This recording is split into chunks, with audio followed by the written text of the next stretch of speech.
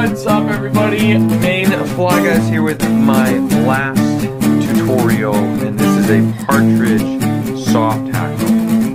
And this is a Firehole 315 size 14. This is a really cool and I don't know, it's kind of a different um, soft hackle than normal. So here, this is just some red floss. I'm just tying in some red floss.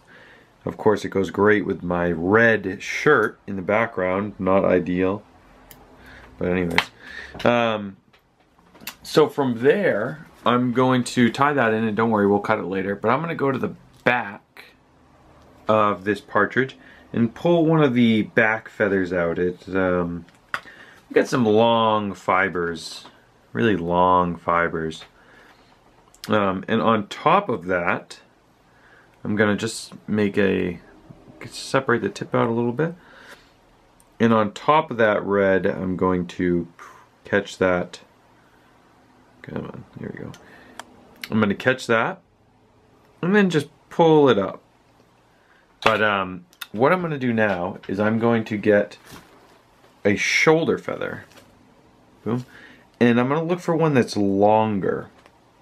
I want like a longer one if you look down the wing, kind of middle down in, in, in the wing, I guess not really the shoulder, there are much longer um, feathers that still have relatively short fibers. They kind of look like this. See, the fibers are still relatively short. And so what I'm going to do is strip all the fuzzies out. And you don't have to go with red, but I like red for this pattern. I don't know why, it just seems to do well. I'm going to catch that, and then I'm going to try to do touching wraps all the way. If I don't do touching wraps all the way, it's not a huge deal. What I'm going to do now is really work these fibers back, and then I'm going to begin wrapping. Doing open wraps. And just keep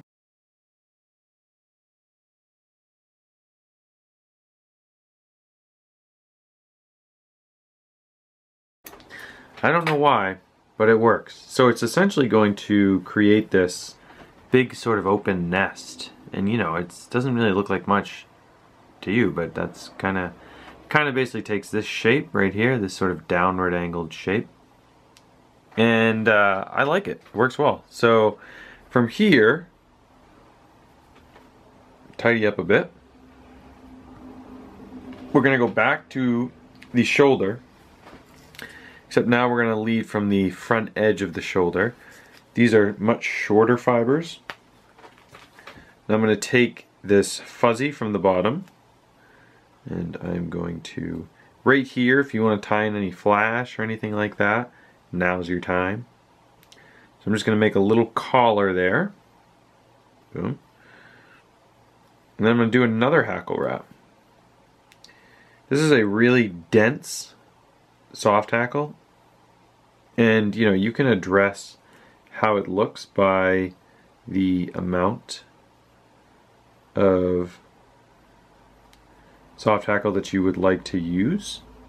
I'm just going to keep this little tuft in. A lot of people cut this little piece here.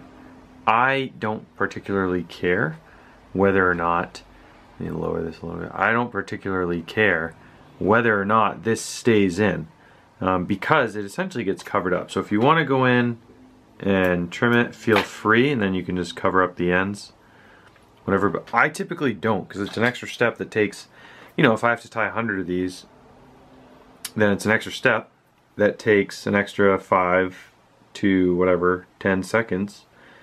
Multiply that by 100 and you get yourself quite a bit. So anyway so I'm going to come in and continue.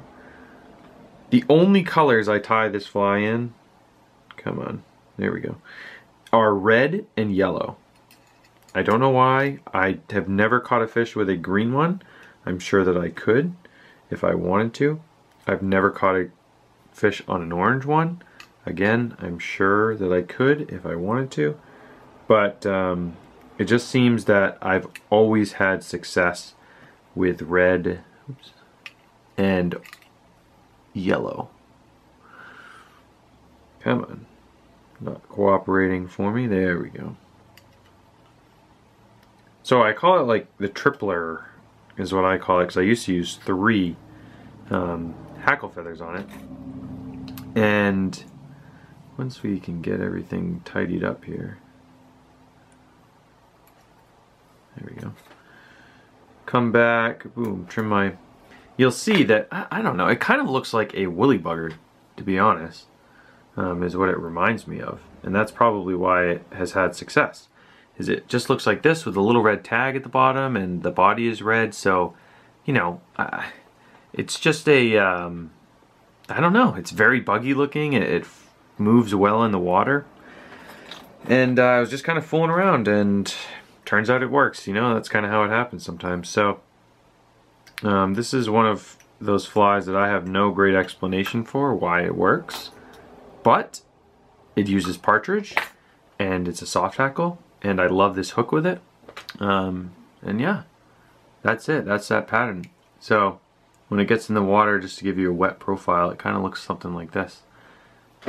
And that's it. That's our last, it's kind of a big secret of mine. I almost don't want to share it with everyone, but um, that is our last fly in the Four Birds of Maine series. And I just want to say thank you for making it this far. This was way more work than I ever envisioned. uh, but if you have any questions, please feel free to reach out and, uh, and let me know. So thank you everyone for watching. We'll see you next time.